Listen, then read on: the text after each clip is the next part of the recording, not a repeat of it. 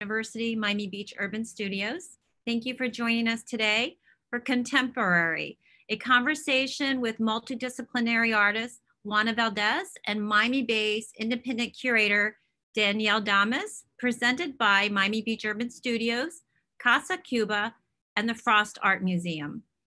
Miami Beach Urban Studios is an incubator for communication, architecture, and the arts, and a collider for people, technology, and design. We're located on Lincoln Road on Miami Beach and have four galleries and the largest 3D printing lab in Florida. We are excited to be collaborating on the series of art talks with Casa Cuba. I believe this is our sixth talk that we, uh, we have highlighted art in Miami. Casa Cuba is bringing together scholars, artists, policymakers, business leaders, students, and the community at large to build a leading cultural center and think tank for the discussion and study of Cuban affairs and the preservation and celebration of the Cuban heritage.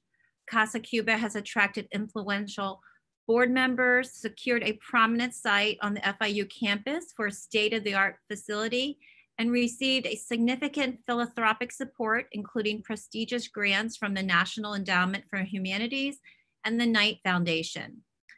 The facility will feature galleries for interactive exhibitions, classrooms where faculty will teach more than 70 courses on Cuba currently offered at FIU, and a venue for events, artistic performances, and dynamic programming, such as this contemporary series. Now I'm excited to introduce Danielle Damas, who will be in conversation with Juana Valdés. Danielle Damas is a Miami-based curator, cultural producer, creative consultant, and fine arts writer. She's a graduate of the MFA Curatorial Practice program at Florida International University. She's curated numerous exhibitions throughout South Florida, including Miami Beach Urban Studios, the David Castillo Gallery, the Bakehouse Art Complex, and Art Basel. Her curatorial writings have been featured in the Miami Herald, Inspicio, and Lux Interiors and Design magazine. Hi, Danielle. Thank you for joining us and inviting Juana Valdés to be part of the Contemporary Art Talk series. I look forward to your conversation tonight. Thank you, Colette, for your kind introduction. I'm very pleased to be presenting our sixth speaker of contemporary tonight, Juana Valdés. Juana uh, uses printmaking, photography, sculpture, ceramics, and site-specific installations in her practice to explore issues of race, transnationalism, gender, labor, and class. Functioning as an archive, Valdés's work analyzes and decodes experiences of migration as a person of Afro-Caribbean heritage. Born in Pinar del Rio, Cuba, which is also where some of my family is from, uh, Valdés came to the United States in 1971. She received her BFA in sculpture from the Parsons School of Design, her MFA from the School of Visual Arts, and attended the Skowhegan School of Painting and Sculpture. She is currently an, an associate professor in the art department at the University of Massachusetts Amherst. Juana's recent solo exhibitions include Rest Ashore at Locust Projects, Terrestrial bodies at the Cuban Legacy Gallery at Miami-Dade College Freedom Tower, and an inherent view of the world, which was originally on view at Mindy Solomon Gallery. Um, this exhibition was later acquired in full by the Perez Art Museum, Miami, and is currently on view in their group exhibition, Polyphonic. And that will be on view until March of 2021. Her work has also been exhibited at a multitude of museums and university galleries, including El Museo del Barrio, MoMA PS1, and the Museum of Contemporary Art North Miami, among others. She has been a recipient of the Joan Mitchell Foundation Grant, the Ali's Creator Award, the Pollock-Krasner Foundation Grant, just to name a few. Juana, thank you so much for joining us tonight, all the way from Massachusetts. I also invite you. Hello. Thank you. Thank you for having me, Danielle. It's really wonderful to be here. Uh, and, and to be in conversation. And thank you uh, to everybody else at Casa Cuba for making this happening and putting it together. Um, it's, it's a pleasure to be here. I'm looking forward to our conversation. I this is like the last in a series of conversations since the show opened, uh, the Rest Ashore show open in Locust Project, uh, which that happens in September 12th of this year and it closed on October 24th. And so the, the show has garnished a lot of publicity and interest and it's been really excited. And i've been had the opportunity to be invited to a series of talks that uh, generated uh, about the work. So i'm hoping that this is going to be a little bit more about the show and about me being one more cuban from miami yes it will absolutely be all about you this show all about your history whatever you feel comfortable sharing tonight um, tonight I know that you've, um, we're, we're all in for a great experience. Juana will be sharing some images from her most recent exhibitions here in Miami and some from early on.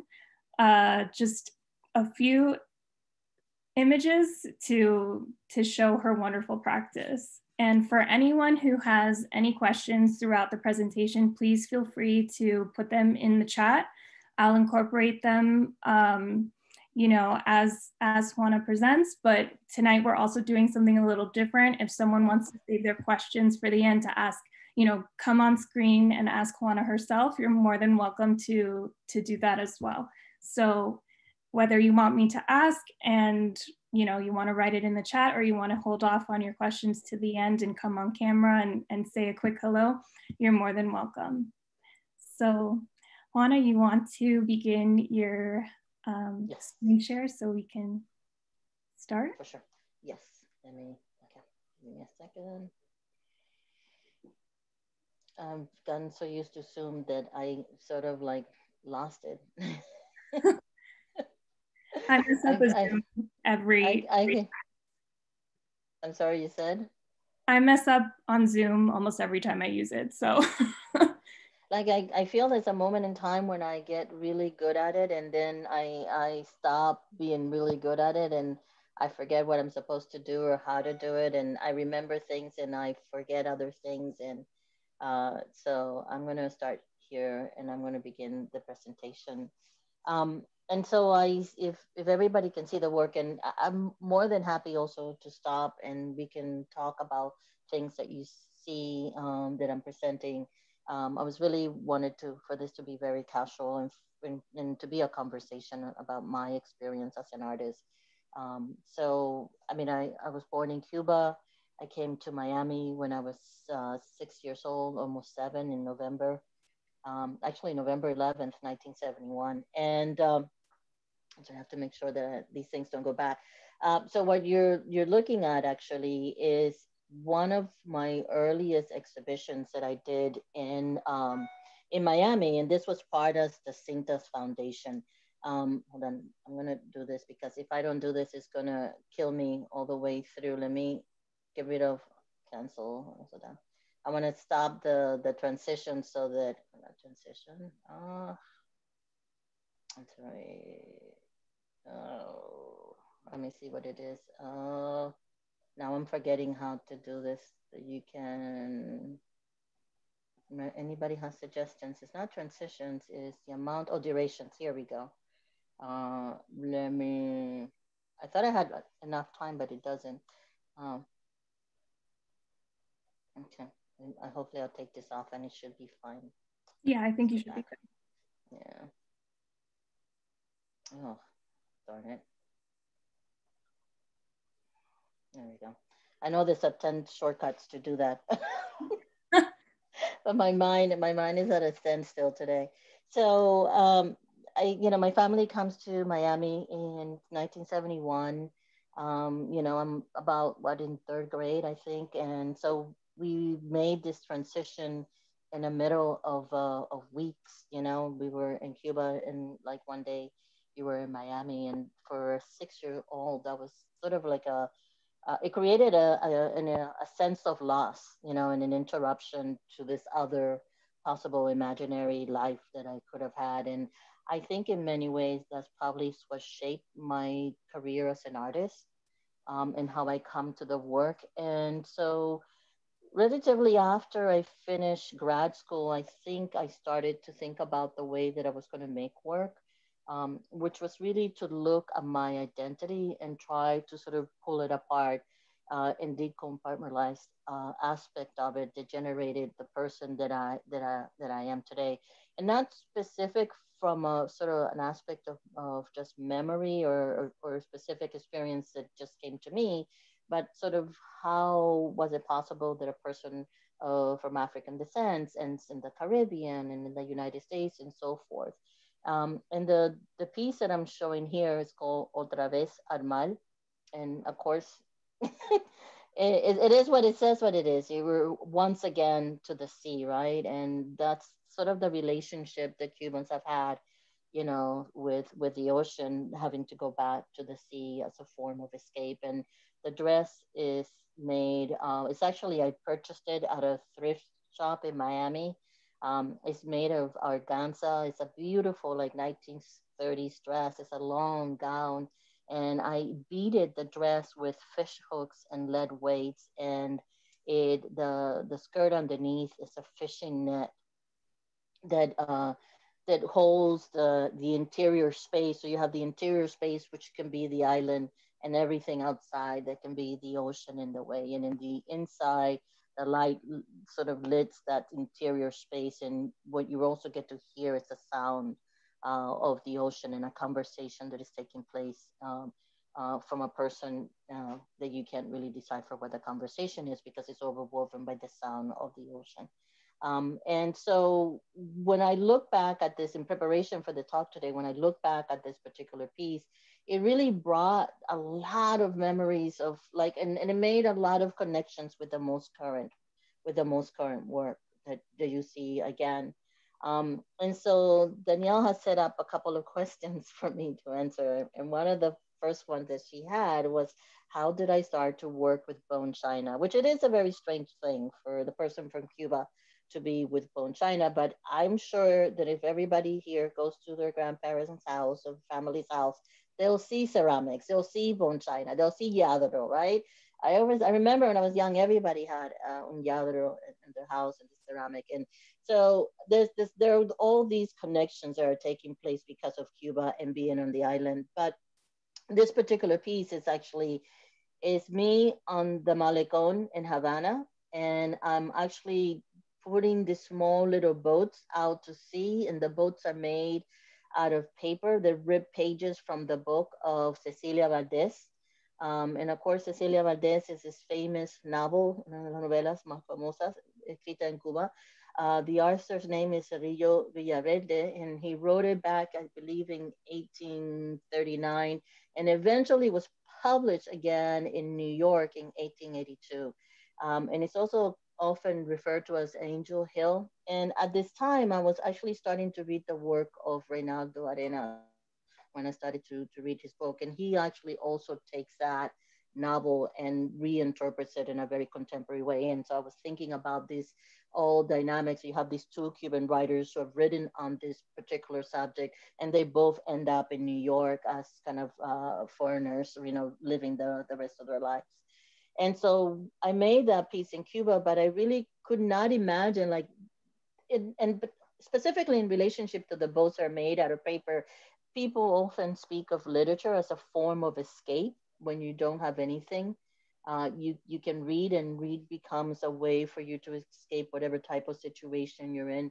And so for me to do this in cuba where there's such a scarcity of everything it seemed right but to to come to the united states or europe or other places and to do the same didn't really make sense and so it wasn't until 2002 that i was doing a residency in the netherlands and in holland um, which residencies is also something that I do a lot of as a way of finding accessibility to materials or a new place or desiring something else to, to sort of enter my practice. And when I was the Dutch, of course, have a history of trade. Also another culture that is very tied to the sea. The Dutch li live underwater actually, and they're continuously damming and, and sorting out the water. And so I was really, I was interested by their relationship to the water and relationship to Cubans and their relationship with the water. And here, this one thing that actually encapsulates them, contains them, and at the same way, at the same time, it's a source of income as well and possibilities. Um, and for the Dutch who control trade with Asia, they were the first to start exporting bone china and ceramics and porcelains to the East and actually formed the first corporation that was ever established. It was called the, the East Indian Company. Um, and it's specifically just to export china and incense and um, commodities from from from uh, from South Asia to Europe and to sort of really did kind of develop the commodities market in Europe and bone china and porcelain at that time was one of the main things. And then being in Holland and thinking about all those things and beginning to really start thinking about my experience as a Cuban and all what all that meant, I created this series of boats. And here the boats become more. They talk about the journey, but also the possibility of return. So you have the boats that are all sort of going outwards, but some of them look like they're about to, to come back or they sort of look like they're not going necessarily in the way. And so it, it talks about in the way that the piece is installed, it talks about an exodus and this sort of narrow channel that you everybody sort of has to conform and go through, which also for me is a sort of a, a transformation, right? For you to be able to come out on the other side and, and come out to some this all sort of space that opens up and there's no longer a, it's sort of a, a commonality but you sort of become an individual and you're dispersed and that was the whole idea behind the installation for the piece with all these boats which were close to almost 200 boats. They get installed on the floor and they just sort of disappear and disperse throughout the floor uh, in the exhibition. So if if you want to interrupt, if you have any questions, please feel free to stop me and say like, what is that or what?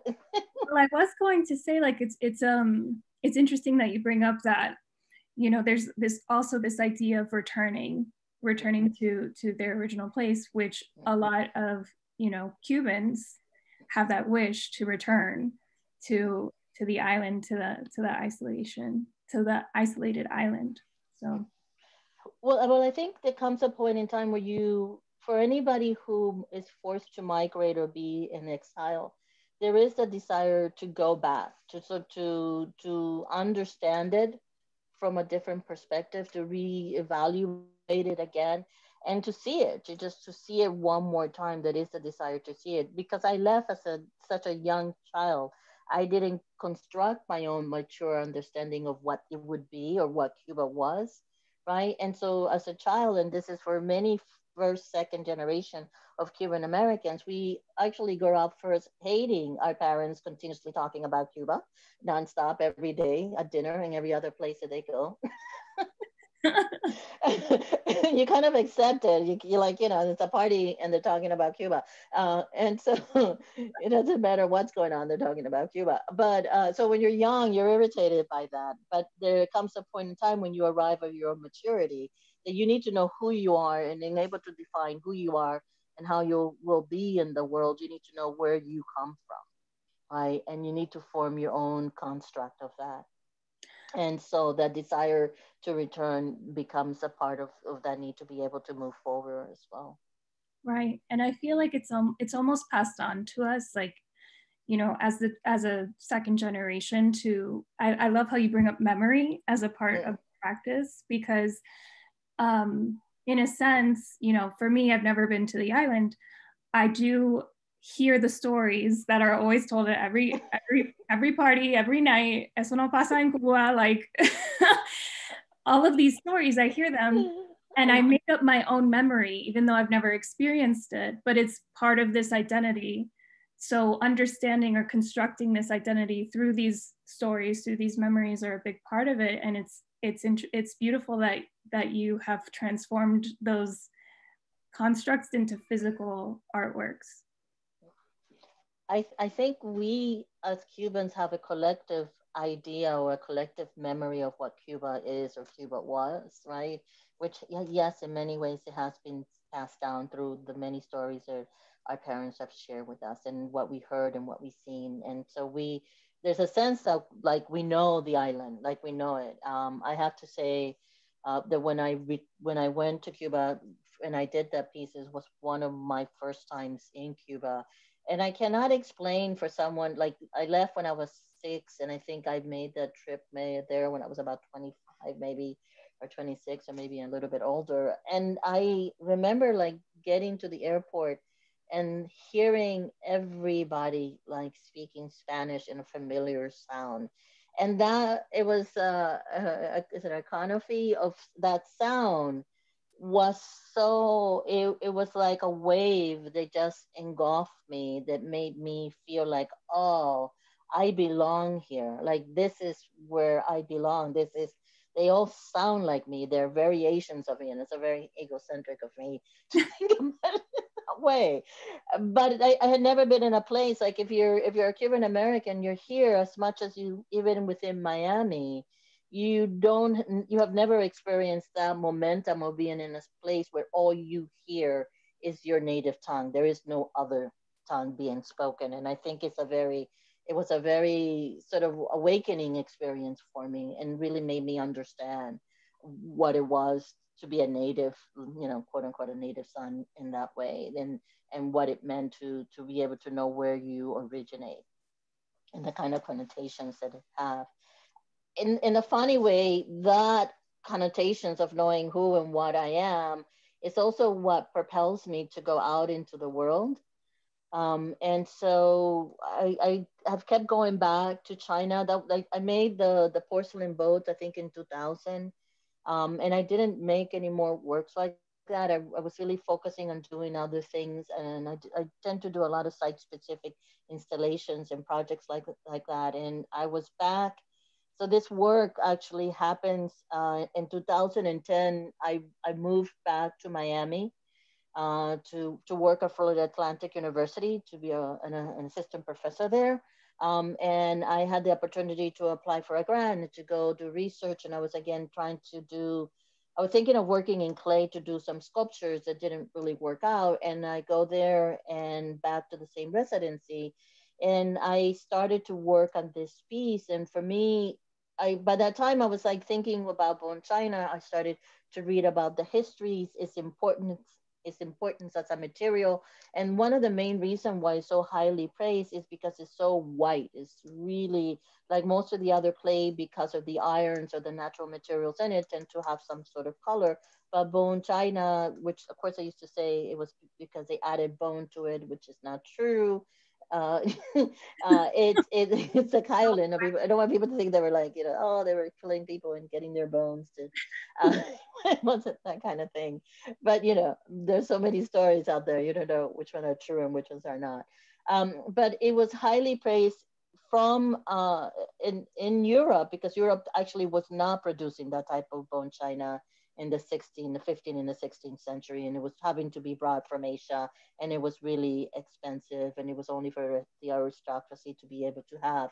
And so, but it made me realize that one of the main reasons why it was being so in demand, what is whiteness and its purity, and this idea of white impurity for me felt that I I wanted to interrupt that discourse. Um, and being for the Caribbean, the one thing you have is color. There's, you know, this variation in color. And by this time, which you see in the beginning of the piece with the dress, my works definitely has taken on a stronger feminist sort of bent to really think about women and women's body and the value of their body uh, and how they're being appreciated either by because of their beauty or the body as a sense of labor. Um, and so this particular piece and the material for me offer the, the opportunity to bring all of these things together. Um, so it's 100% bone china. I develop a recipe for it. I, I mix pigments and I arrive of a color. The color gets embedded into the clay. And that's another thing that I, that I really wanted to do because in a way, I'm sort of altering the DNA of, of the of the piece, you know, um, because these colors don't really like you couldn't go to a ceramic shop and buy these colors. They don't exist. I actually fabricated the color and in that way the each color is an original color. Um, and it feels for me in a way like this idea of creation um, by altering the dna of the clay which is what happens you know in the body you're able to change the, the physicality of the body and therefore the color of the clay. And I made them in all this variation of skin tone, some that are real and some that are imaginary. Um, and the size of them are determined by the shape of the fabric that I use. I'm sorry. Um, and the fabric is actually the same size as a cleaning rag. I think, and this is, I where these inspirations sometimes come from, it's hard to tell. But I remember a song, which was a very famous song, and I think I won't know it, but my mother's generation does. And there's a song in Spanish. It says, "La usó como un trapo, la botó como un trapo viejo." And that to me was like every time I hear that, my skin crawls. I'm like, oh, but but it talks about the dynamics in the relationship between men and women, right? right. And the woman becomes this object that can be discarded and thrown away when they're no longer beautiful or desirable. But yet at the same time, women through manual labor as simply as cleaning have supported families and put kids to school. And you know they go home they clean they cook they do all these things to, to sustain the, the family. And so it's a body that also produces and maintains and sustains and support as well um, and sort of the, the contradiction and the necessities in both uh, that are apparent. And some of the pieces are really brand new and they're they're really kind of fresh and I would, consider young. And some of the others are a little bit more worn and torn, and you can see the degradation of the skin in making these comparison to, to the to the pieces. Um, right. There's such a special dichotomy between, you know, this precious bone china that's being represented as a as a dish rag, and um, where it, it also seems very labor intensive to change the DNA of these of of the china. So that's does does it take a long time to like to to make this color or to oh my god. Yes yes it does. I should have i should have brought in the picture of what that looks like because it's like I'm in front of, uh, I'm, I'm in front, I'm looking at a series of images that I've done before, which sort of work with skin tone as well. And so I have that, and then I have like every recipe, every color that you can possibly write. And it's actually very scientific because it's like three zero point one of this pigment and 1.2 of that other pigment. And so it's it's really not artistic in the way that people would think about it being artistic. It's really more about almost being like a chemist right. And, and bring in i'm sorry? And very purposeful. Yes yes. Um, so it's a way of painting without painting i guess. Yeah one of the things i kind of like to do uh, to paint without painting. Um, but and then each one is shaped individually. So no two are necessarily the same.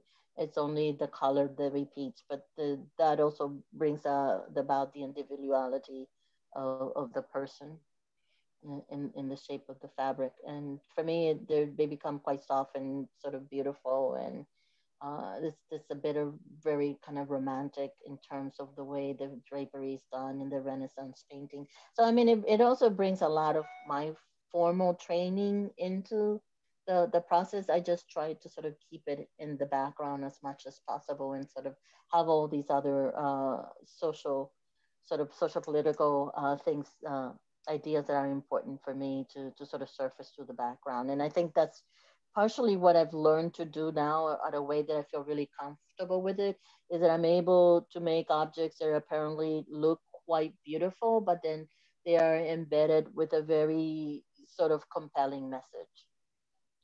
And, and I think if you're able to do that, you're able to uh, to reach a lot more people because they're not necessarily sort of pushing away from the work. Um, so I, I was making the bone china, which I need all these insane special facilities to work with. Um, and I, am back again in the US. I'm here in Miami. This thesis started in about 2014. And so I'm now thinking about the material and where has it been made and what's my connection and where do we see it. And I realized that a place, a place that it inhabits is the home, right? And especially through women who purchase china when they get married, decorations for the home. And that made me realize one more thing, which is um, like when you're born, your first five, six years of life is predominantly within the home that's all you see. You're not really out there in, in the world. And believe it or not, everybody's quite aware that children from the age, I think, for one to seven, all they are are just sponges. They're consuming all this information that is coming to them and they see. And for me, I thought, wow, then then what then what your surrounding has has to also be influencing you, right? Mm-hmm. Um, and if you're in these houses in this environment where these kind of objects are, are dominant, you, this also has to be shaping your aesthetic value and your aesthetic taste. And that's when I started to think about how these objects really also represent a particular perspective and a particular style and, a, and a, an aesthetic, and that it is predominantly a European sort of centric aesthetics. I'm sorry, come back. Um, in terms of the objects and the way that they made, and what you see is this sort of transition of objects that are being made in Asia and East Asia and sort of coming into Europe and how that influence of the European aesthetics also begins to shape this object. And there's some uh, some of these items that are actually made in Ireland or in Italy, and you couldn't really tell them apart from the ones that are done in, in China or in Japan. And the, the project begins to form in this shape of these oversized structures. It could have been a table, but for me, they also begin to function almost as a vessel and as a ship that move these objects across the world. And this piece that you, you're seeing is the inherent view of the world. And it's, uh, it's this is when it was presented at PAM. And the, the what it does is that it kind of holds the world and uh, uh, uh, uh, at eye level for you and you're seeing all these objects that represent different sort of aesthetic values and different ways of making all the way from from Asia to to India and even to to to the Americas and now they're all placed at the same level and at the same place and you're able to see how one culture also influence another culture and how they they come together uh, and impact so I feel like I'm just talking, talking. This that's questions or you're very interrupt me. you're very captivating, but I do have a couple of questions. Uh, okay, good. Let's, I do have uh, two from the audience. Um, I'll start with one. Uh, can you tell us about your mentors and how um, they've influenced you as an artist, or how you found mentors as an artist? That's a really interesting question. So when I, I left Miami in my early 20s and I decided to go to New York to study. Um, and so I have to say, I do, I am one of those artists that also goes back to literature and to writers. Um, I, I, I, go back to books uh, sooner or later to, to sort of for, for influence or, or, to, or to think about things or to change the way that I think about things. Um, but I so I went to New York and I, I went to study there. And primarily I did it because I felt like I had really had had no real strong formal background in teaching and I mean in, in art. And so I wanted to really kind of get cemented in, into the history of, of art, and especially Western history of art. And and I chose SVA because I they had really strong women teachers. So when I went to SVA, there was Judy Pfaff was teaching there, who's someone I whose work I, I respect and it's also exhibited in Miami. Uh, Petah Coyne was also teaching at SVA. Ursula What's Writing Guard was also teaching at SVA. Um, there was one more, oh, I'm forgetting, is it Jackie Winston? Winston? I'm not forgetting her name right now. It was also, but I, I wanted to surround myself with women sculptors. That was one of my main decisions when I chose to, to go to grad school. And primarily they were really working um, and making a statement. Um, but with that said, there are things that happen to influence you that you never imagined that will do. And so I also went to Miami Dade, and one of my professors at Miami Dade was Marilyn Gottlieb Roberts, who in many ways has been like maybe not a mentor in an everyday sort of way, but really also had a, a great impact in uh, as a professor. Uh, for me, another person there was also Juan Martinez, who was my first art history professor. uh, and so these people brought the brought the the world of art to me in a way that was really accessible. Um, I remember being encouraged to work on the surrounded island with Christo, and so that became one of the first sort of introduction to contemporary art for me in in Miami. And I think in a way I wouldn't say I wouldn't have said it then as I would say it now, but I think it did it left a, an imprint in terms of how I think about art and what art could be or how it can be made or, and how art can function in society, which I think is the most important thing. That's also a huge introduction because it's so such a different way to introduce art to society and to think yeah. so big, you know. Well, I remember when the when the project of the surrounded islands came to Miami, it was all this insane controversy, and people were like, "Oh, I mean, now we think about Christo and it's like natural. Oh, yeah, Christo and Jeanne-Claude, of course, why not? But at the time, there was a really serious controversy in terms of if that was art or not, and how would it impact the environment. And all there was just, and I thought in a way that was actually engaging because it brought communities out to engage with one another and question one another and have to interact with one another. They normally they would not, just so that everybody's queries could be answered. Right. I have one question that I definitely don't want to um, slip from from today's meeting, which is what are some myths you'd like to dispel on the topic of migration? As we're mm. talking about all of these, you know, all of these pieces that you incorporate into your artwork that kind of mold together. What are some what are some myths do you I think the most important thing is that it's not a right. Migration is a human right. I think that's the most important thing. I think that's where the work that I'm trying to do is heading. Um, we as human beings have been migrating in this planet since its origin. You know, otherwise we would all be in Africa and we're not.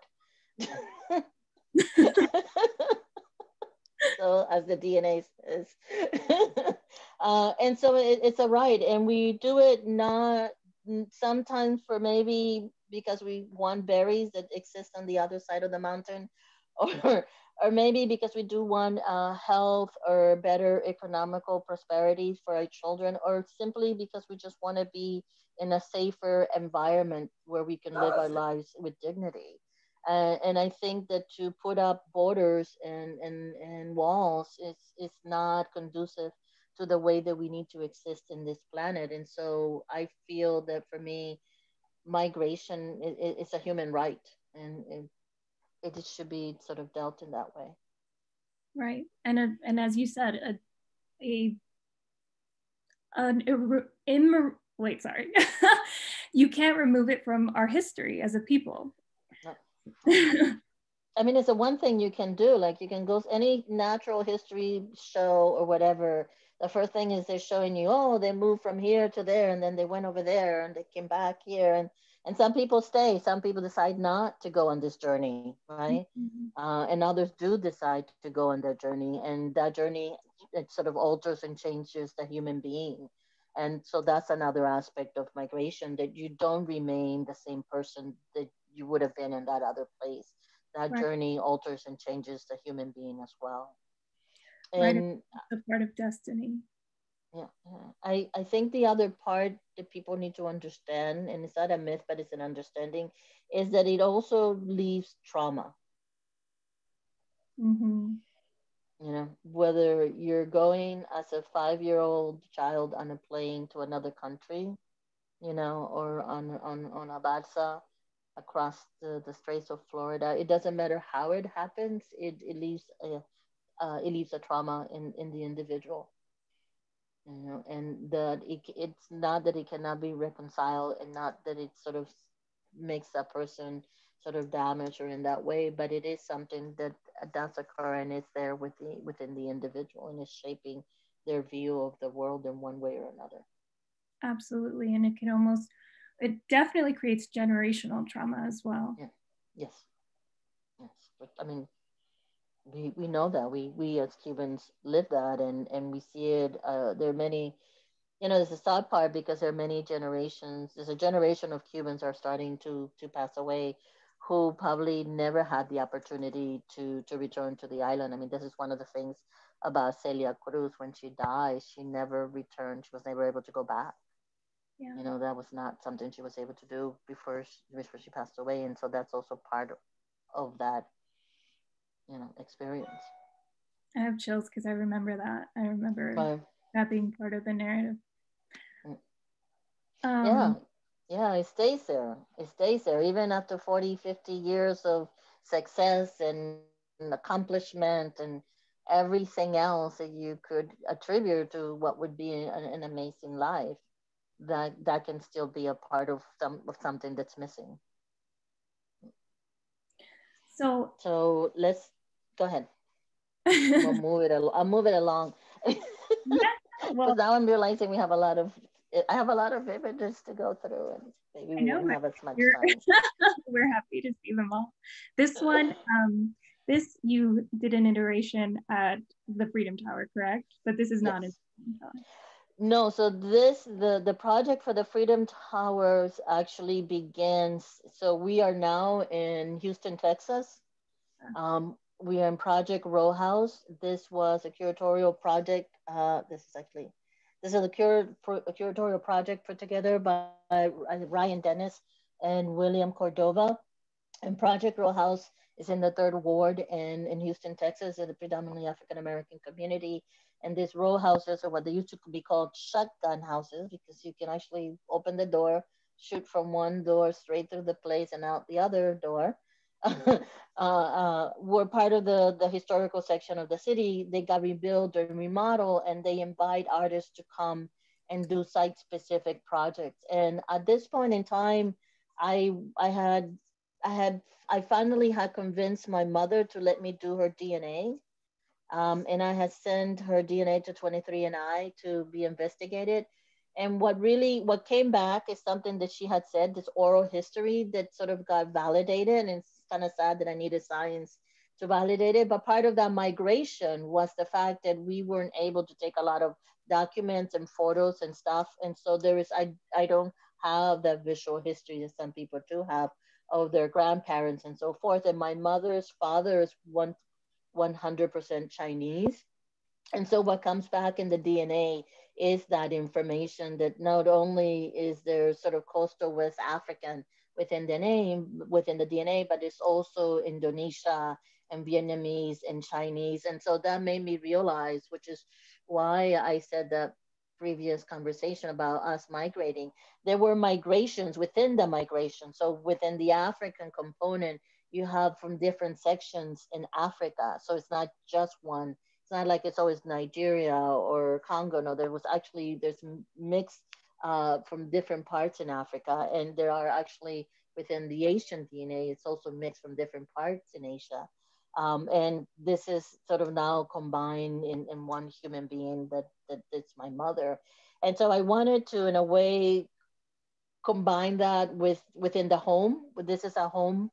Um, uh, and I decided that all the information would be on the walls and the walls almost become like the skin of the space and I created this installation of, of shelves that hold all the objects that normally would be dispersed throughout the home and furniture and stuff. And now they really are set up almost for you to, to examine and review in relationship to this DNA and information that you're seeing on the wall in relationship to the years. So the way that they do this DNA, uh, for anybody who's done it, they are able to assign a specific country or, or nationality, there has to be enough of a DNA for within the DNA strand that would constitute a whole human being. I don't know what I don't know what that amount is. A whole human being. yes. Otherwise, you don't get a label. right.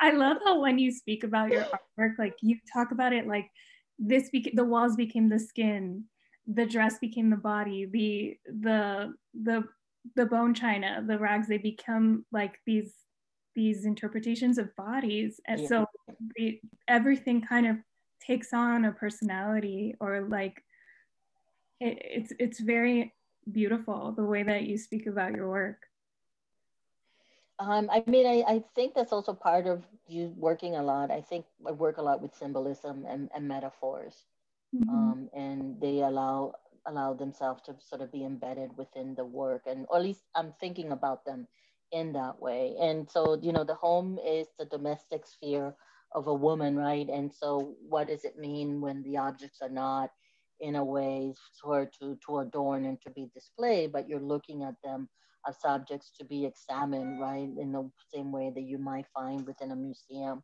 or an institution. And the, the way I set it up, it really is to sort of look at the history of these objects and how they could connect to different areas or different other parts of the countries or the shapes that might reference a particular culture. I mean, some people, most people, some people might, some others don't know what celadon glaze is, but it's a very specific glaze that was developed in, in Korea.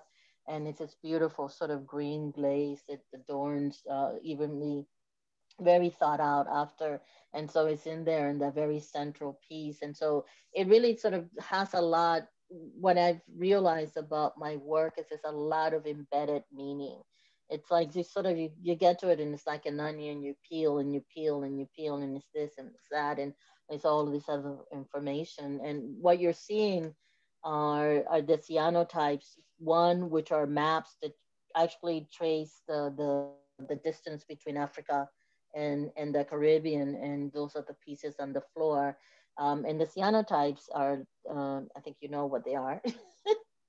they're, they're, they're made by adding uh, a chemical to, to paper that turns uh, one exposed to light they turn blue. And so it, I used it in a way to create like a map, a grid map. And so this actually talks about that physical transition across the land or, or the water by, by the map. And then you have these objects that right now, so what did it say? It's, I think it was 78, 70% of all commerce is transported through water, it's maritime. And then out of that, that comes to 80% of all commerce that the world does. So almost probably 90% of what everybody buys got shipped to them crossing the waters, crossing these oceans. Um, and so I, am beginning to make these correlations between these objects and bodies and bodies being moved across ocean for labor as objects are being moved across ocean for domestic uh, and, and domestic consumption in those relationships that who makes who makes who works who doesn't work who gets to enjoy uh, the labor of others right? And especially within the home because it's usually women who maintain the home and everybody else gets to enjoy that home. The rest of the family gets to enjoy that home but it's women who usually maintain uh, and, and, and clean and sustain the home. Mm-hmm. um, and it, it, was great to have this opportunity to to install this project, uh, uh, this um, a project row house because it gave it allowed me to work with the environment. All of the objects that you see there, I actually bought in Houston, Texas. I bought them and sourced them in that location because this idea that it's only maybe on the East Coast or specific is not true. The the domestic consumption of of, of China and sort of porcelain ware, something that sort of gets brought from Europe to the Americas. And spread. It spreads, yes. Mm-hmm. All over from east to west, north to south. You will find very similar objects as you move across the, the United States. Um, uh, once I did the show, I actually was invited to do the other project at, um, at, uh, at yeah, I'm a, the there's a Cuban leg. I'm trying to the Cuban uh, Miami Dade Special Collection at the Cuban Legacy Gallery. So yes. It's a, yes. Um, and for there, it's and you can I think you can see the shift between working on a site specific space to what it means to to to be in a very defined sort of very pristine gallery space, right? Um, mm-hmm. I don't have a lot more. I should have done more of this imagery, and I didn't, which of course is photographed by a very famous photographer. name is Zachary Balber. Uh, mm-hmm. Yeah, uh, who does amazing miracles work for artists. But um, anyway, so but I selected this section because it's the beginning of the installation, which takes begins in 1600, um, and sort of with the very initial strand of the DNA, which is the African hunter-gatherer uh, DNA that you see there, and you see the objects sort of kind of very small, very basic, predominantly brass and wood, and slowly they they start to integrate more more design, more materials, uh, more uh, different sort of or sophisticated shapes, and it begins to to span. And you see again the the the, the cyanotypes, which the cyanotypes actually documents the bottom of the objects that actually track exactly where the objects are made. Oh, and it shows you like the fabric, the, the logo of the company or the brand or the mark, or and even at times the signature of the person that makes it. And I was really interested in. I decided to use the cyanotype because it really also it mimics water in a way that nothing else could. And so what you get is the feeling of these objects either as they could be floating in the water or descending into the bottom of the ocean. And you, you can actually, when you sit there and you look at them, you very much get that experience there. You're almost standing at the bottom of the ocean and you're watching these objects sort of float above you. It also simultaneously gives you this feeling of like these fossilized items, like yes. they've encrusted in the ocean floor almost. Mm. I, I, I'm, I'm always excited when I can.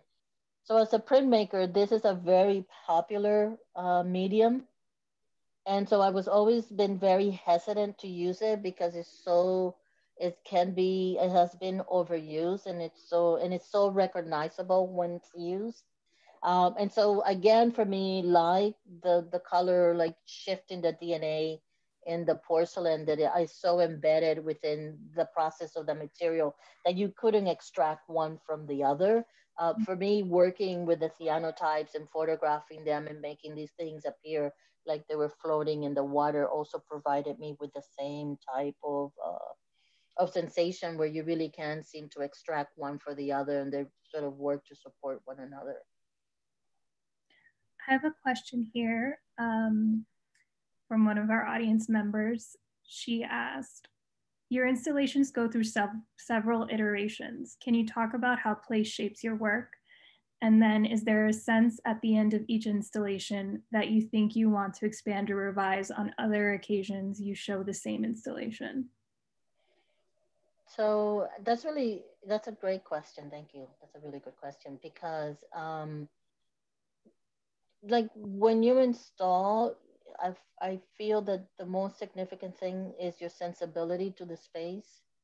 Um, so you can put the same painting into different spaces and the environment will alter and change that painting, right? So when you do these installation pieces and you change the environment, they themselves or the way that they're sort of viewed and received also changes. So it's really, it becomes a, a challenge for the artist to make the work sustain the same kind of interpretation and the same kind of feeling.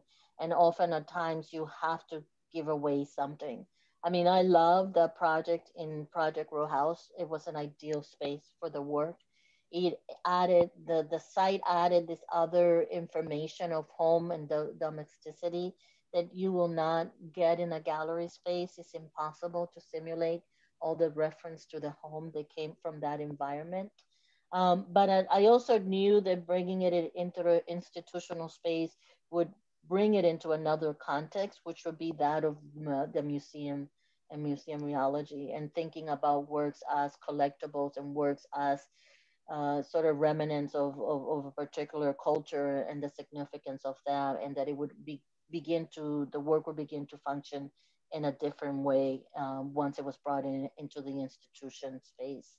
Um, and so I tried as best as I possibly can to keep the same kind of feeling, right? And then for to allow it to function in, in this other way. And so to substitute for the windows, I brought uh, in the cyanotypes that almost also could work as, as a way to look out or, or, or uh, to, to bring the outside in the inside.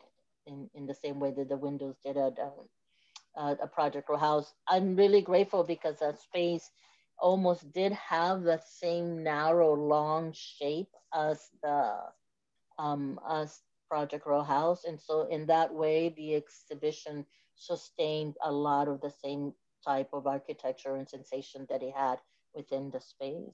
Um, as an artist, you have to be willing to shift, to be a shift changer. uh, and and because it's impossible to always control the environment in which your work is exhibited So you have to be ready to to allow the work also to be what it wants to be within the space that it is and have the sensibility to to make the kind of changes that you feel will help the work articulate itself better you know and still hold on to to the intent and the idea behind the work. Um, i have to say i don't label myself as a ceramicist primarily because i didn't receive a very traditional um, sort of training with clay. I come at clay from that sort of uh, amateur professional. Doesn't look it. and if you, you don't know real ceramics, I know how to mix my clay and my colors now. Um, but but I, I'm like so I have a love for printmaking. That's why I teach printmaking. I love the smell of the print shop. I can I like I love the smell of a print shop. I have to say that. Uh, it's the smell of beeswax and ink and oil and I don't know and I don't know paper and so those things kind of shape you and influence you and and and uh, I don't know I don't know where I was going with that but there's the printmaking is a component um, I like working with clay as well um, but it has to be really specific. I feel, or actually, I believe that now at this point in time in my career and making, that it's really it's a conceptual idea that drives the work, and the materials sort of come together. Sometime I arrive at it by finding a material. Like if I tell you one of the ways that I started to think about it, I'm going to sort of be honest and, and out myself in this way. Like I was actually thrifting in Miami, which everybody does. I grew up thrifting in Miami. How original is that? everybody thrifts in Miami. Uh, and so I've always thrifted and gone through thrift shop and stuff. And I was uh, I was at a thrift shop and I saw this beautiful what they call a moon shaped vase, which is a round flat shape with a tube at the top, which is a very is a Japanese sort of design and I fell in love with it and I bought it and I was gonna I bought it to give it as a gift to my nephew's wife who happened to be Japanese, right? And so I bought this beautiful vase and I was like, oh, she's gonna love it. Like I'm here I am, a, a Cuban person giving to a Japanese person a Japanese gift. Like uh, uh. Like you, you don't even know at times when you sort of take on those same kind of uh, stereotypes, right. and you yourself are acting in that way without knowing it. Thanks God that they live out of the country. So it took me a really long time to realize that I was like, oh, wait a second, maybe this is not a real gift. And that's how also part of this work really starts for me to really think about what is made internally for internal consumption within a particular culture and what is made as an export or as an object to be export into another culture. And that particular piece actually has this beautiful geisha with a course, she has this one breast exposed. And it's total exoticism of this particular culture. And I was just like, ah, maybe this is not the best gift to give. Maybe I'll make artwork with it. Uh, so I'm really glad that I did not, but but but that I was aware of how I was myself, sort of creating this stereotype about another culture that I didn't know and didn't understand. But I, but also how in everyday life what we see is impacting on us a belief system of other people's ideology and aesthetics, and this is sort of discussed as the coloniality of power, which is a system which comes out of colonial rule in which these ideas are embedded within institutions, within objects, and they pertain within them, right? This mm-hmm. idea of what is beautiful is white China, not China that has a color, right? Uh, and so these things, even if we're not no longer colonized, it doesn't mean that those ideas and those belief systems are not sort of embedded within these things and that these things carry it over into in, into other uh, moments and other situations in which they uh, act out as well. Absolutely. I can't believe I just outed myself in that way, but okay. guilty. We've all we've all been guilty of, of moments like that. I think it's important to just have that awareness. You used it, you know, to to better understand and, and bring it into your artwork. So moving on to Rest Ashore. Okay, so um, there we go. Go ahead, what are you gonna say? um, I did want to bring up that you you extensively use the Wolfson archives. Um, yes. It goes along with a question I have here from Maite. Um, how much research goes along with your installations? Because you could tell there's there's a lot. um, I know you have worked with archives in the past. Could you share how objects from the archive have appeared in your work? So I know okay. they Thank you. So I, yes, I do. I have to, uh, I have to, let's go back here a second. I have to say, actually we can stay here because what you're seeing and maybe what you'll see in a little while is from the Wolfson archive, which I'm completely, uh, moving image archive, which I'm completely indebted to for their support of the exhibition uh, uh, uh, Locust project. I could never have done this project with them. And I feel, and I know that it was central to grounding the exhibition.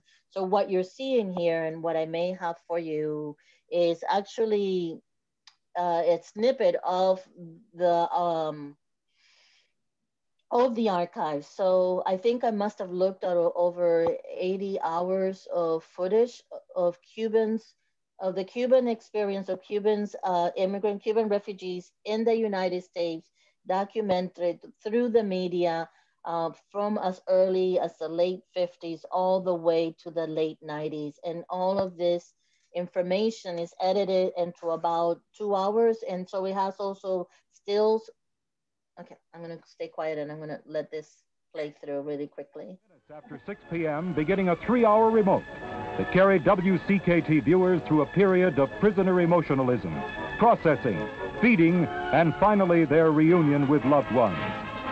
The Day in Retrospect, another WCKT special, wrapped up the highlights of the day, 17 hours after it began. Through it all, WCKT built and held community interest by giving priority to one of the nation's biggest stories of the year, offering quality and quantity programming that easily surpassed the competition in content and immediacy. The timely integration of live and film coverage was made possible by the use of helicopters to transport the film to the WCKT heliport from all key points of news coverage. So let me move this a, a little further away. So this is the um, let's see what kind of images. Yeah. So this is the, that was the African, I believe the African Princess or the African Violet, which is, was a ship that was actually sent to Cuba to bring Cubans, uh, uh, refugees to the United States. Um, and sort of that happened like right in the early 1960s. And so I, what's interesting, this is the first time I've ever used the moving archive. I think the collecting with the objects is another way of sort of the collecting was sort of my introduction to the archive and using archive material. Um, so the photographs that you see actually were from the, the Miami History Museum and the Cuban Heritage Collection at the University of Miami. And so I combined the footage from the Wolfson with photographs from these other institutions to really sort of capture what was the refugee experience when they first came to the United States. I divided it into decades and I, I wanted to, for the project Rest Ashore, which specifically dealt with migration, I wanted for it to have a foothold within my own sort of experience or understanding of what migration is and for me, that is sort of the history of, of the Cubans and here in America and as refugees that whether you did or not come on a boat or on a plane or on a or everything, you know somebody who has, right? Mm-hmm. Um, and so I wanted to use this material as a way of chronicling what it looks like over a long, extensive period of time as we are now really beginning to, to deal with what's going to be another major shift in migration worldwide that started already with the people from Syria and from Afghanistan and Africa coming. And so that when you look at what's happened here in Miami with this Cuban experience and the multitudes and the variations of Cubans, the different ones that come at different periods, how they integrate themselves into this community or don't integrate themselves into the community, what their beliefs are. I thought that this would give the, the exhibition like a really clear foothold in terms of how to look at migration and how that aspect of migration, the way you perceive it, the way you come to it can shift over periods of time, right? Um, but it's, it's, it's part of our common uh, experience in Miami to, to be a, to be, we're used to it actually. We don't even think about it very much, whether it's Cubans or Haitians or Dominicans, depending on, on who is, or maybe for Nicaragua or Honduras. We, we're so accustomed to this that we, we're not really thinking about it. And I thought that perhaps Miami could be a good case study, you know, to look what a contemporary city could look like. This is, this is what the.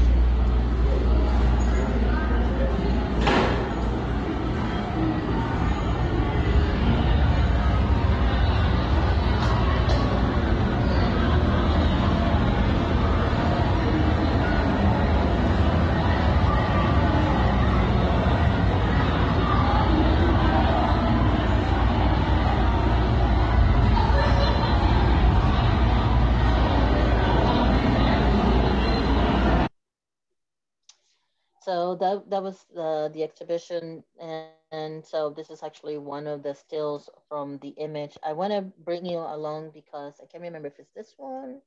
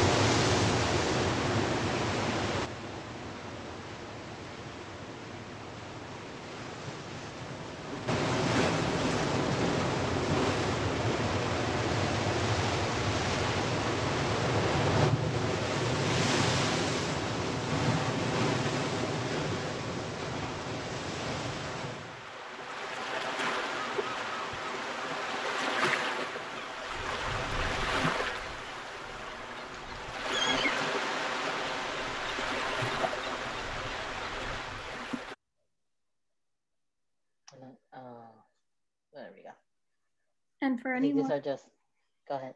oh, for anyone that was not able to see on-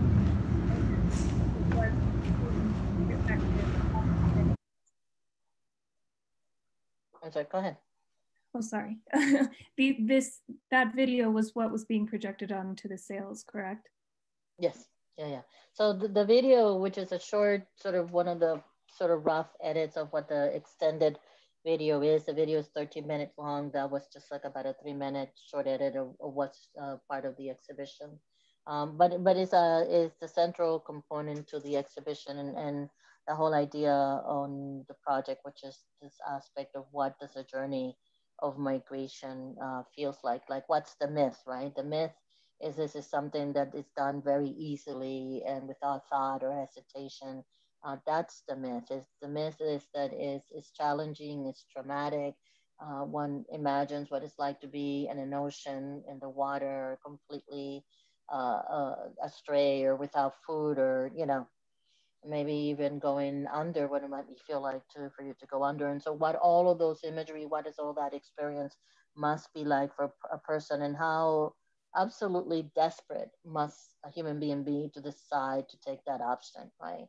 And not only for themselves, but also for their children. They must be at a place where there really is no other uh, alternative for them uh, other than to, you know, to, to, to, to go into the sea as, as a means of escape. Um, and so for me, that was really the that was the main anchoring point of the exhibition. And I, I was awarded, so the ULAI grant was awarded to produce the, the video. Um, it's my first time working in video. I'd never done it before, so it's a bit ambitious of me to decide.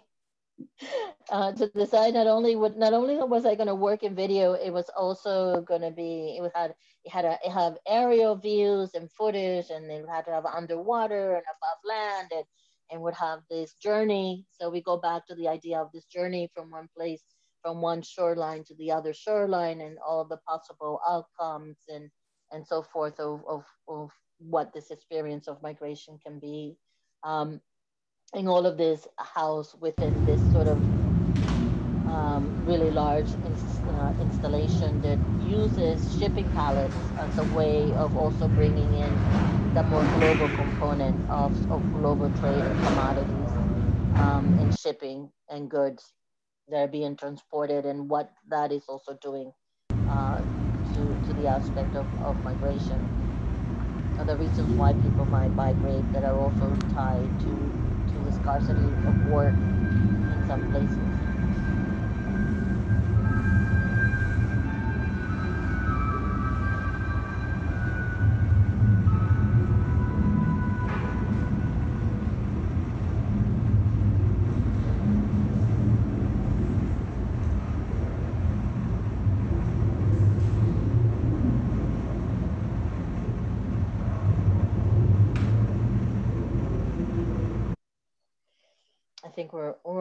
There. This is the last, since the more detailed images of the of the videos.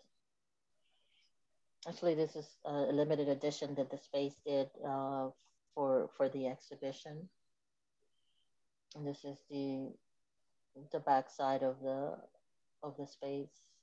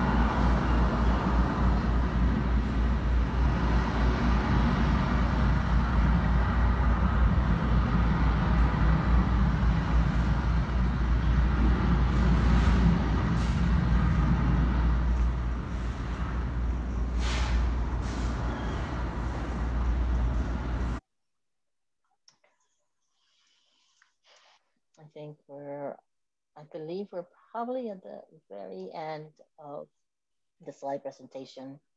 Um, yes, I think this is it. So the, the, the last two the last two images and the videos that you're seeing were the last component of the exhibition. One shares is a three monitor uh, projection of the sunset, eternal sunsets that never seem to set. And it was really meant again as a, as a metaphor for, you know, ideas of, of hope, uh, aspirations, the future, the unforeseen, uh, things that, you know, are uh, not undetermined, but offer the possibility of, of hope. And then the other one is this video, which is the person that keeps returning to the shoreline to make this decision whether to go or not to go, that is really kind of contemplating what to do or not to do. And so it's about a 10 minute video, and you just see him return back to the shoreline over and over and over again to, to, to sort of question the idea of leaving or, not to leave and what does that mean. You also, um, I I bring this up from a previous um, video that um, you did with uh, Zachary Balber and, mm. and Lopez, but you gave people the decision when they open um, into the space to either go right to to go left or right. So that speaks to that that theme of choice throughout the mm. exhibition. Mm. I'd like to also, um, we have about 10 minutes left. So I'd like oh, to. Good. Like, I thought I'm like, oh my God, I'm over. this is going on forever. People are hungry and like, there's no oh. popcorn. well, I hope everyone brought their popcorn. But for anyone that might have a question that they'd like to um, turn their camera on and ask Juana a question, I invite you to raise your hand and we can we can go in, in a certain order. If anyone has a, a question they'd like to ask her directly. Um, I know that that it doesn't have to be important. It could be just you know what's my yeah. favorite color. yeah, I also see here we got a, a question. Oh, yeah, we got a question in the chat from uh, Lillian. What year was the first Cintas dress image from? The very first, I think, I think so interesting. I think one of the first aeration of that probably was in the late 90s. And that was probably for the Cintas exhibition that might have been like in 2004. Okay. And Coralina, if you'd like to to put your. Oh, your... I know her. Oh. Hola. Hola, ¿cómo estás, chica? I'm I'm like so obsessed with this show. Um, oh, thank I, you. I I have like so many boring questions, but actually, I realized that I should just ask one that's more timely in terms of okay. when I saw your your show installed versus now. Um, have you had any kind of reflections or contemplations about, uh, you know, post election and and kind of it feels like all of a sudden people care about Miami for one second. and of course it's going to go away, but I think, you know, um, you know, your work is has deep been deeply layered and invested in in these conversations for so long and so all of a sudden, you know, there's this attention being paid. I'm just curious if you know there's there's been ways that you've processed um, you know the vote and the transition um, in terms of the way that the media is harnessing um, the the kind of story of Cubanos in Miami, and if there's something that you'd like to add or clarify or just kind of demystify for people, um, since it seems that people are all of a sudden paying attention when they normally weren't. You know, oh, hold on a second. Let me come out of the slide view. Um, so I think the most important thing, I think post election, I don't think we we saw anything different than what we have been already debating with our families at home in private. we all know what Thanksgiving last year was like and what this Thanksgiving might be like. Um, and, and so in that way, it's not new. But I think what the show did for me, and I think what it did for other people, um, it brought out the diversity of opinion and belief system that exists within the Cuban community. Um, also, it made clear the numbers in terms of what a Cuban vote can be like, even if we're not like the largest Hispanic population in, in, in the United States. Uh, the Cuban vote has a lot of potential. Um, it, um, am I frozen? Oh, I think I am. No, okay. So it has it it has um, it has power. People Cubans have been able to uh, ascertain a certain amount of political power that you can really see, but it doesn't, they're not a monolithic group. And I think Mariel is always going to be proof of that, right? The, the, the diversity of Cuban people and the diversity of Cuban thought and how they might think or feel about certain action and how that can also be kind of taken and, and manipulated in one way by, by, by social media or, or the media at large. And I think for me, the show was really helpful in that, in that a lot of uh, one of the walls in the exhibition is statistics by the Pew Foundation that talks about like the Cuban population is concentrated in Florida. The 66% of Cubans are in, are in Florida, about 5% in California, about 4% in New Jersey. So of course our vote is going to be here. Um, um, among Cubans age 25 or older, US born are more likely than the foreign born to have a bachelor's degree or higher education is like a 38% or a 23%. So even within our own sort of group, we diverse in terms of opinion and the way we go about things. And I think that the show was able to bring that about so that the election was not as a big surprise as, as it was. I think what would the what would the election and, and moving forward and once we get past this covid-19 pandemic that really is sort of you know creating havoc within our communities is we'll we'll see again the the need to focus on migrations and the fact that that has not gone away. It's still there. There are people who right now are not only they're displaced somewhere but they're also dealing with COVID in a tent somewhere, or where there may not even be soap or, you know, uh, areas where you can properly wash yourself and clean yourself, and all of that is still happening. None of that has gone away, um, and so that we have to think about a future where they will be the majority of the people might be foreign born. And what does that mean for a country like the United States, where you have citizens that actually might have roots somewhere else, a connection to somewhere else, or have a, have a previous political experience that can actually also shape the way that they vote. And I think that is really what we experience in, in, in the election. Um, and I, I mean, I hope that, I'm glad that the show happened before. I, wanted the show to remind us of this other uh, issue that is still taking place and that it hasn't gone away and that is a very is is something that informs and impacts our decisions right now uh, as individuals. I think there was one more person. Lillian wanted. Do you had a question or something, Lillian? Yeah. I, hi. I know you well, can open. How are you? it's good to see you. um, I wanted to start by saying that um, every time I see a work of yours, it just moves me to the core. Um, and it's not just because uh, I do feel like there's a lot of parallel paths, but I think your work is so poetic and accessible and yet also so deep. And, and I think what, what you mentioned about showing people something and kind of letting them decide through the beauty of the work, I think is, is, is important. So, you know, mm-hmm. kudos uh, to you and, and, and, and, and the work that you do. Um, I, I did want to bring out that I was very happy in this last show that you had the wall of the information about essentially the special um, considerations that Cubans have had in relationship or you know maybe against other immigrants even from the Caribbean and um, and I find that super timely especially given the large number of Cuban immigrants that seem to be you know overtly anti-immigration. right? um, which is you know mind-boggling to me right? And so you know in ideas of affirmative action you know it's it's you know we don't like it when it's for someone else but we'll take it when it's for us. And and so i just i mean I, I think that was a very bold move doing it in Miami, and I just wanted to applaud you for it because I think that it needs to be said and resaid because it's true. And I just wanted to thank you for doing that. you know, so it's really interesting because I so archives and working with archive and working with data, right?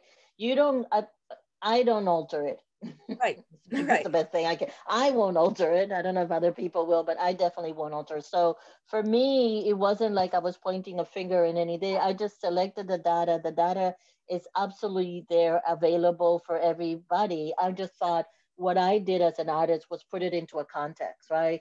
So you have like from the earliest, one of the earliest uh, actions that is the the it was a million dollars I believe that it was given to the Cuban refugee yeah. and this is happening in 1960s that's the equivalent to almost eight million dollars a friend of mine was sort of did the math of what it would be like for one particular group of refugees to get mm-hmm. that kind of support right um, I think I remember recently reading that the the United States lowered the number of refugees that was taken to like to 15,000 this year. And, and, and when El Mariel happened, and again in the 1990s con los we were getting like 30,000 Cubans in a month, I think it was, or something like that. It was, it was crazy. So when you think about those kind of numbers to what's happening now in terms of migrations, you have to think about it. But for me, I didn't, I mean, I didn't feel brave because it's not something that I, that I made up or put out there or made a very specific statement. It was published in by the Sun Sentinel. It exists online. The Pew Foundation does research on all Hispanics in the United States. I just specifically, and I thought that it's, it was appropriate for me to, that was one of the decisions with when I first started to work on the project, I, I had a much bigger scope and I sort of pulled back on that and sort of, I said, I need to address the community that I come from, the people that I know, the problems that I know, the problems that I have within my own family uh, in terms of how we see and express ourselves. And so I really, that's why I pull back and only use the information based on Cuban. And so the, the data is our lives, you know, the fact that most you know, Cubans do go on to get a, a higher education, especially if they're born here in the United States. That's just what that's our lived experience. The fact that uh, so out of all Hispanics in the United States, Cubans own more property. Yeah. Right. And Cubans in Florida own more properties than Cubans anywhere else in the United States. What does that say, right? What does it mean to be to have the strength of a community? Uh, that reaffirms itself that that if your neighbor owned their home, why am I not going to own their home? And suddenly you have whole neighborhoods. You have Hialeah, right? not yeah. forget about Hialeah. Let's bring them in the house. uh, and, and so and, and how so how does the how does the data how the information how does the, the policy impact our daily lives right and, and so for me I, I didn't necessarily feel very brave. I just I was just transferring information from one place to another, um, and then giving us the the space and the perspective to look at it from these other lens.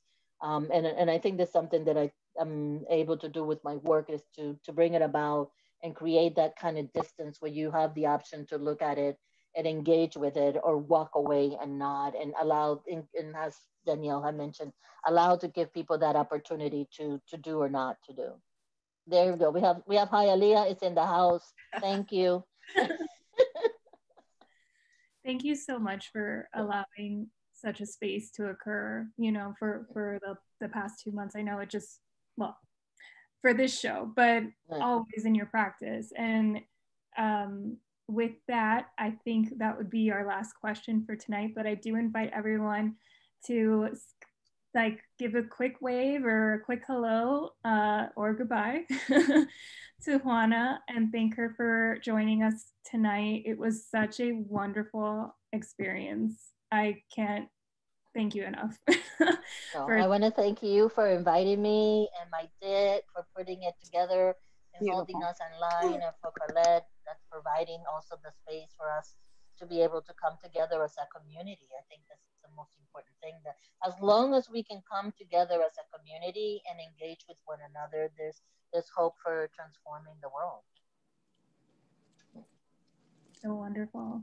Thank you, everyone. Thank you. Thank you so much. Thank you. Thank you so much. Thank you so much. Unbelievable. Great night. Bye. Thank you. Thank you.